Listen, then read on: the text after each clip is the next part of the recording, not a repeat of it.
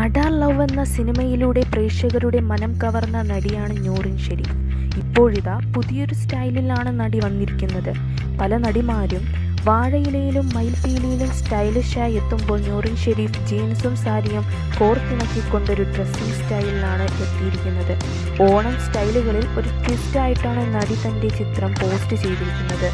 നൂറിൻ ഷെരീഫിന്റെ ഈ പുതിയ trending look ആരാധകർ ഏറ്റെടുത്തിരിക്കുകയാണ്. ഇനിയും പുതിയ ട്രെൻഡിങ് ലുക്കിനായി കാത്തിരിക്കുകയാണ് ആരാധകർ.